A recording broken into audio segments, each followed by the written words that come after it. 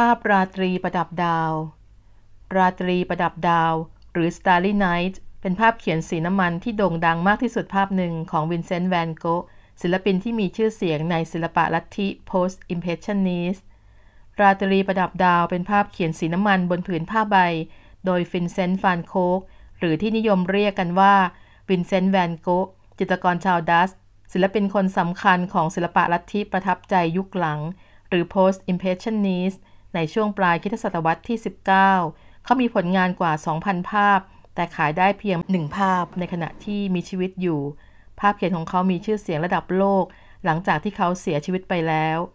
แวนโกเข้ารักษาตัวที่โรงพยาบาลจิตเวชแซงปอนเดอร์โมซอน ในประเทศฝรั่งเศส เป็นเวลาหนึ่งปี เนื่องจากเขามีอาการทางจิต จนถึงขั้นตัดหูซ้ายของตนเอง ระหว่างรักษาตัวที่โรงพยาบาลแห่งนี้ เขาได้วาดภาพจำนวนกว่า 20 ภาพ ที่สะท้อนถึงทิวทัศน์ผ่านหน้าต่างโรงพยาบาล ในช่วงเวลาหรือฤดูกาลที่แตกต่างกัน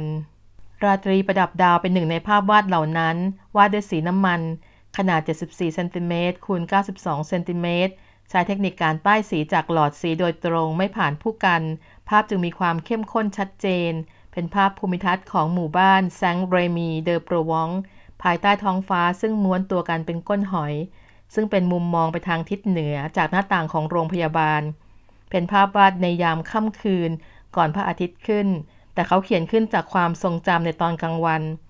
ซึ่งเขียนเมื่อเดือนมิถุนายนคิศักราช1889 ภาพนี้สะท้อนให้เห็นถึงความประทับใจของศิลปิน ต่อทิวทัศน์ในยามค่ำคืน จากมุมมองด้านบน ลงมาสู่ด้านล่างผ่านต้นไซเปรสสีดำที่สูงเสียดฟ้า ซึ่งอยู่ทางด้านซ้ายมือของภาพ ลักษณะเหมือนเปลวไฟ อาจทำหน้าที่เป็นตัวเชื่อมโยงภาพระหว่างพื้นดินและท้องฟ้า มองเห็นหมู่บ้านแซงเรมีเดอโปรวองอยู่ด้านล่าง ไกลออกไป พร้อมทิวเขาอัลปี บนท้องฟ้าประดับด้วยดวงดาวระยิบระยับสว่างสวัยมีสายลมและก้อนเมฆม้วนตัว ราวกับมีชีวิต แสดงถึงพลังแห่งอารมณ์และความรู้สึกของศิลปิน ที่สับสนพรุ่งพร่าน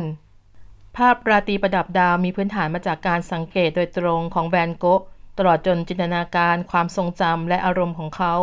ตัวอย่างเช่นหอคอยของโบสถ์ที่อยู่ในภาพคล้ายกับที่พบได้ทั่วไปในฮอลแลนด์บ้านเกิดของเขา ไม่ใช่ในฝรั่งเศสแวนโกะชื่นชอบห่วงเวลาค่ำคืนเป็นอย่างมากดังข้อความที่เขาเขียนถึงทีโอน้องชายของเขาว่าสำหรับฉันแล้วดูเหมือนว่ากลางคืนจะมีชีวิตชีวาและมีสีสันมากกว่ากลางวัน ปัจจุบันภาพราตรีประดับดาวจะแสดงอยู่ที่พิพิธภัณฑ์ศิลปะสมัยใหม่ ในนครนิวยอร์กสหรัฐอเมริกา ตั้งแต่ปีคิศักราช 1941 เป็นต้นมา ภาพวาดราตรีประดับดาวเป็นผลงานที่มีชื่อเสียง และเป็นผลงานชิ้นสำคัญ ของประวัติศาสตร์ศิลปะตะวันตก ผลงานชิ้นนี้เป็นที่รู้จักแพร่หลายไปทั่วโลก แต่หลังจากที่แวนโกะศิลปินผู้มีชีวิตยากลำบากและขมขื่นได้เสียชีวิตไปแล้ว และไม่มีโอกาสได้รับรู้เลยว่า เขาได้กลายเป็นศิลปินเอกของโลกในที่สุด